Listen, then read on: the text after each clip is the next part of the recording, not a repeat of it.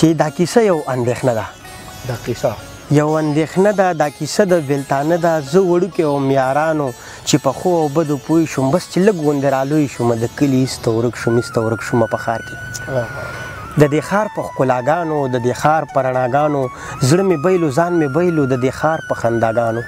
زه په دې جهان کې نه وم چرته وم بل جهان کې داسې ورک وم په ځان کې لکه وم په اسمان کې څه مې خپل عمل ښه نه و او څه لږې شان پیسې وې څه مې خپل زړه کې مستي وه څه وړې وړې نشې وې وایي څه ژرنده و خراب څه دانې ورته لمدې وي څه مې خپل نصیب خراب و څه د وخت دا تجربې وي څه یادونه د سپوږمۍ و څه مې نورې مسلې وي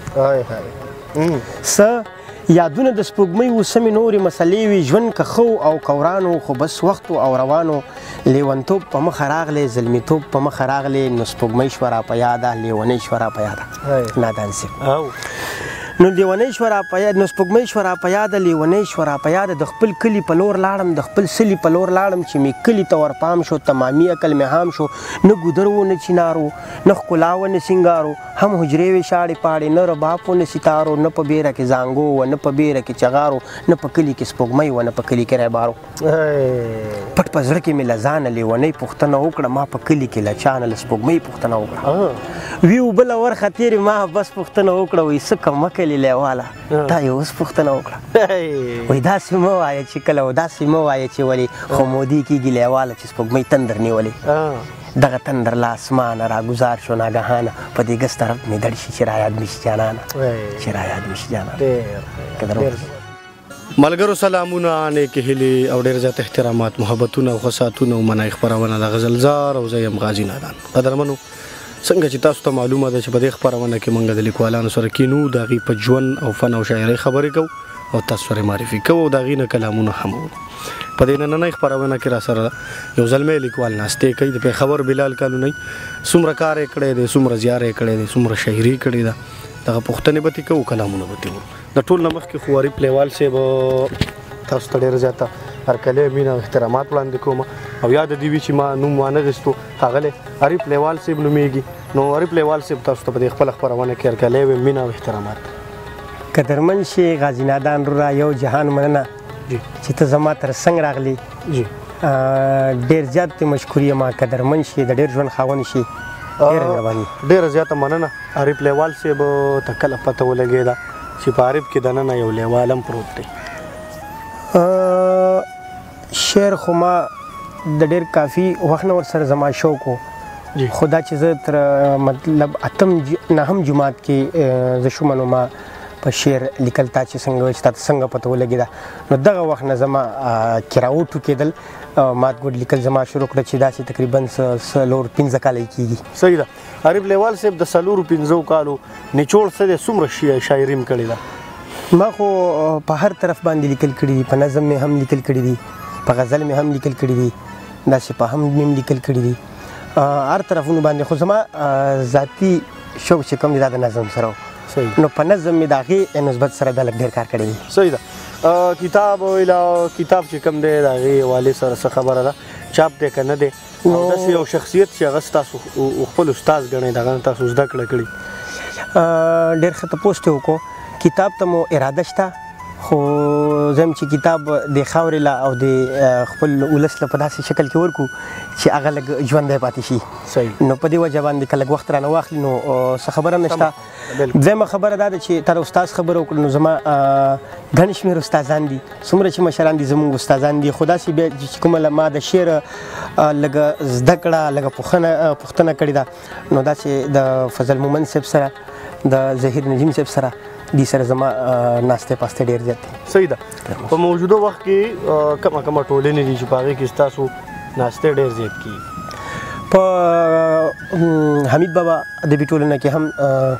زډیر ناشته کومه ناسمه او په کلندر بابا غونډه کې هم زډیر زیات ناشته کومه او په مرګو مرګري لیکوالانو کې ان پی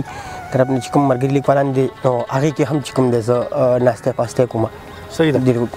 لیوال صاحب ډیر مننه قدرمن پښتنې باسي لم کو خو زه مچ په دې من منس کې سوورو سکلام ورو نظم به ما ورو او البته ته یو شیرونه یم سو غزل بدر ته یم بیا باندې تنه سمو یم ارشاد ارشاد زه د ستړي ژوند کاروان مسړیا ما جنګ نه کوو روان وم سړیا دا خو تا راته پاخه برجونه جوړ کړل زه د صلح په ارمان وم سړیا او دا چې څوک راته بیا بیا راغړي وزي هم لدنه پریشان وم سړیا دا چې څوک راته بیا بیا راغړي وزي هم لدنه پریشان وم سړیا زه منمه څه کمی به را پکې و فرشته نه وم انسان وم سړیا واه واه واه بیا وایه که دښمن شي زه منم څه کمی به را پکې و فرشته نه وم انسان وم سړی و د لیوال سره مې څو ورځې پښتو وه نن پې ښه ډېر پښیمان وم سړیا ډېر ښه ډېر که دښمن شي بل نظم ته راځم چې زما د ستړي ژوندون ستړی داستان د ماشومتوب په خوږو پوه نه وم چې د ځوانۍ درشل ته وختمه له ډېرو ستونزو سره وړاندې شوم زه به اکثر په ژوند کې تنګ شوم نو ما به اکثر له خدایه مرګ غوښتلو ما به د ژوند نه ځان جدا ګڼلو ځکه به ما له خدایه مرګ غوښتلو په یوه شپه له کاره ستړی راغلم په وجود روغ وم لکه مړی راغلم سترګې مې پټې شوې دستي اوده شوم دستي لاسه کې چې بیخي اوده شوم څوک راله راشي ما له خوبه پاسي زما وجود مانه په کټ پاتې شي زه خپل وجود د لاسه کلک ونیسم زه خپل وجود ځان ته په زور راکاږم د خپل وجود نه مخکې روستو شم یو څو کسان وي ما له خواله راشي زما وجود مانه په بله یوسي د خپل وجود په سر روان شم زه بیخي په یو دوه کې حیران شم زه څه خلک مخکې وي او څه ورپسې وجود مې مخکې وي او زه ورپسې چې جنازه مې له وجود ووته بیا یې اوږو باندې راپورته کړم خپل ډولۍ سره په خپله سیبه د کلي بر کنډو ته وختم وجود مې ونیو د لاس څخه نه ورته مې وویل راپاسه که نه ما پسې ښې منډې وهلې خو چا نه لیدم نادانه ما پسې ښې منډې وهلې خو چا نه لیدم ما پسې ښې سلګۍ وهلې خو چا نه لیدم په اخري کې زما وجود لکند وکړه کیسه اوږده وه خو بس ما درته په لنډه وکړه سلګو نیولی وم د مخ رنګ مې بیخي خراب و د خوبه پاڅېدم د خولې خوند مې بیخي خراب و لیوال خوبونو کې خپل مرګ ولیده بیا به مې مرګ له خدایه نه غوښتلو بیا به مې مرګ له خدایه نه غوښتلو بیا نور هم قدرمن شي دا یو دوه شعرونه وایم بیا به نظم لراشم که خبره د قیمت شوه بیا زمانه پاتې نه ده که خبره که خبره دقیمت شوه بیا زما نه پاتې نه ده او د هار به درله وکم خو څه غم به درله وکم ای په تا پسې مې زړه ورانېږي ومنه جانانه قرآن به درته راوړم قسم به درته وکم مننه نظم ته راځم د دې ژوند اخیری شپو کې د دې ژوند په ختمېدو کې نظارې بخکاره کیږي علامې بخکاره کیږي د قیامت د نشانو نه نشانې بخکاره کیږي د انسان وژل به عام شي د ایمان وژل به عام شي خور او ورور په کلاسکه د خپل ځان وژل به عام شي بس د مینې خوند به ورک شي یا د ښکلي رنګ به ورک شي یا په لاس کې به بنګړي شي یا د تورې شړنګ به ورک شي یا غیرت به ترې نه لاړ شي یا قوت به ترې نه لاړ شي ترې نه جوړ به خزونک شي یا طاقت به ترې نه لاړ شي هر یو سیز به مقدار ویلي هر سړی به معیار ویلي فحاشي به پیدا کیږي بې شرمي به پیدا کیږي د عزت پروا به نه وي بې عزتي به پیدا کیږي ننګیالي به ټول پناه شي نرخزی به پیدا کیږي عجیبه پیغلی براشي عجیبه کانې به وکي نه به نر وي نه به خزا عجیبه جامې به وکي په خوانی پیغلی بنوي ملالۍ پیغلی بنوي د پښتو په جامه پټي پښتنې پیغلی بنوي یو ناسور برا پیدا شي یو دستور برا پیدا شي څوک چې څومره به شرمېږي بس عزت به سیوا کیږي همغه کیسه شروع د لیونو پښتنو ووري همغه نخره شروع د شملو پښتنو ووري دغه خزي دي زی وینم چې نور په مخ کې نیوي شکل ټولی د سړو وي په نور جسم زنانه وي سر لغړه پکې خاندي محفل ټول د نارینه وي بد هیڅ چاته نه لګیږي د قیامت دا نشانه وي د قیامت دا نشانه وي ډیر مننه ډیر یو دوه درې شعر او ډیر مننه په غي باندې خپل پیغام هم ورکړي ها د امن جنگ لتلوم هڅ کې غړی راغلم کفن مې په سر وړی و دستار مې په سر راوړو د امن جنګ له تللی وم هسکه غړۍ راغلم کفن مې په سر وړی و دستار مې په سر راوړو د امن هم قایل وم چې کډه مې راوړله ټوپک مې لاس کې راوړلو ستار مې په سر راوړو